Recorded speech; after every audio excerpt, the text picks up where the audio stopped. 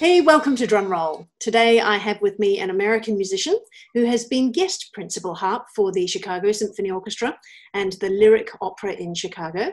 And then here in Australia, the guest principal harp of Opera Australia Orchestra, as well as the symphony orchestras in Sydney and the states of Tasmania and Victoria. She was a co founder of the Chicago Harp Quartet and Australian Harp Quartet as well. She's collaborated with Yo Yo Ma, Renee Fleming, Jonas Kaufmann, and Diesel. I'd like to welcome to the show Emily Granger. Hello, Annabelle. Hello, thank you for joining me. Thanks for having me. Now, let's start off with a little bit of information about Chicago. Why on earth did you choose a harp? It's got to be the hardest thing to get on the train, really. Besides a marimba, but it is quite quite large. um, but it was the sound of the harp that drew me to it initially. I heard it on CD when I was 10 years old. Asked my mom what in the world that instrument was, and she told me it was a harp. And I asked her if I could play it in string orchestra the following year, and she said, "I don't see why not." And that was it. so I had no ah. idea what I was into, but here we are. It's been 20 years. and she had no idea she'd have to fit it in her car to take you everywhere. Is that right? Exactly. about trying to move the harp around the two of us and oh anyway it, it gets easier. It does i'm sure. You get better at it as you go along. And what is it that brought you from chicago out to australia? So interestingly enough i was invited by alicia crossley who was a kruger fine music uh, scholar.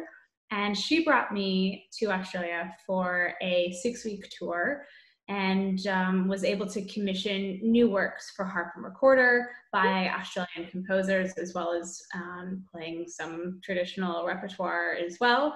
Uh, or I guess maybe untraditional because it is harp and recorder, but traditional repertoire of other instruments that we stole and arranged for ourselves. And that was five years ago. And um, here I am living in Australia now. I'm one of those composers, and I really hit it off. And uh, we're getting married next year. Yay! Be with him and pursue uh, a career in this beautiful country and this amazing city. Did you meet Alicia over in America? I did, yeah. So Alicia came and visited me um, in Chicago through another mutual friend um, that I had studied with at university and we really hit it off, um, both playing like these ancient instruments, but also being really intrigued by new music and the possibilities that our instruments can do and what we could do together. And the Kruger Scholarship was the absolute like perfect opportunity for us to be able to actually make that collaboration happen. Right, right. And of course, we're not just talking about the little recorders that people are familiar with at school. She's got a wide range of different ones, hasn't she? She does. She's got a lot of recorders, yes. So now that you're out here, and of course, this year has been such a strange one, what was most impacted when COVID happened for you? My entire schedule. I know. Um, it, it, was initially it was awful, um, and it was it was a lot to handle, and uh, I really feel like I had to mourn the loss of of this career that I had been working um, over the last three years to build here in Australia, and I was really excited about a lot of projects, but like anything like there's always you know a silver lining. And the silver lining is that i have been wanting to really focus on my solo playing and work on solo repertoire. And as a freelance harpist i never have time to do anything for myself. I'm frantically like moving my harp around and playing multiple programs every week with never enough time and so now i'm actually like able to focus on this solo program and if covid hadn't happened honestly there was no way that i would have been able to do any of this mm. so what has it developed further uh, during this quiet time so i'm going to record a cd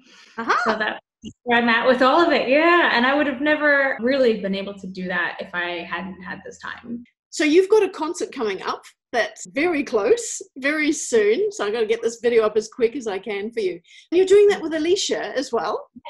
Yep, it's yeah. our five-year anniversary of our uh, of our project Duality. Yeah. The music that you're going to be using for this concert coming out. How did you choose the music? So we really wanted to focus on Australian repertoire, which I feel like I'm kind of doing a lot like I'm here and I wasn't exposed to it really in the States at all. So we're going to play one of the pieces we commissioned by my fiance, Tristan Coelho.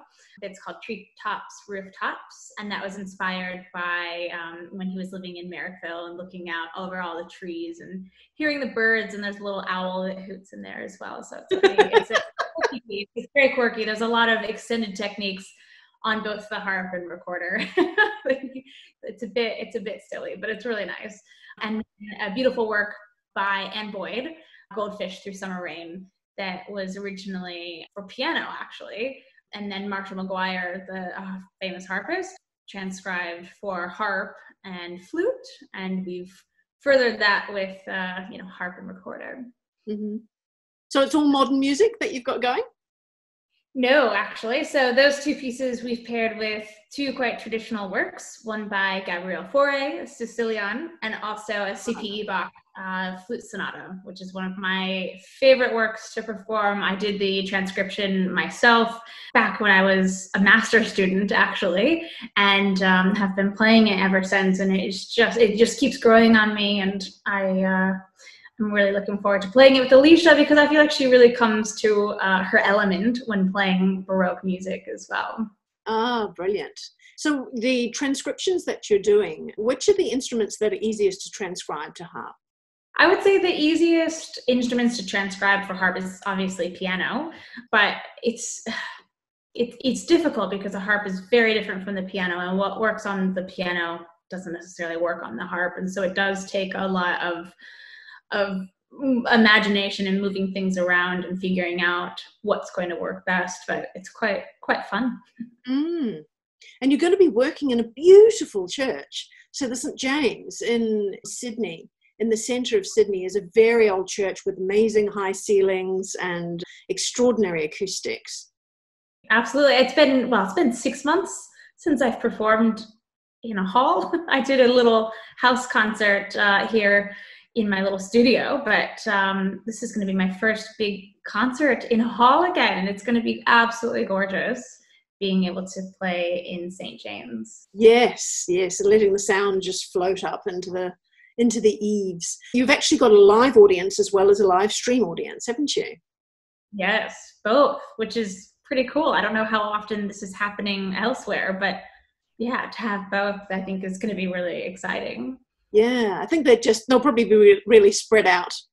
I think I've only been to one concert so far, and uh, everybody was so spread out that um, before the people came on, I, I turned around and said, you know, you've got to clap really loud.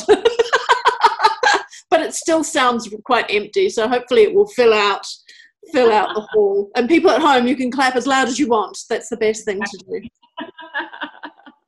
Okay, so the tickets are just 10 Australian dollars. That's like enough for a Mars bar in America. it's, it's a really uh, economical uh, but perfect, a small but perfectly formed concert and uh, at an economical price $10 a ticket in Australian dollars. And you can get them at this link. I will also put it down below in the description.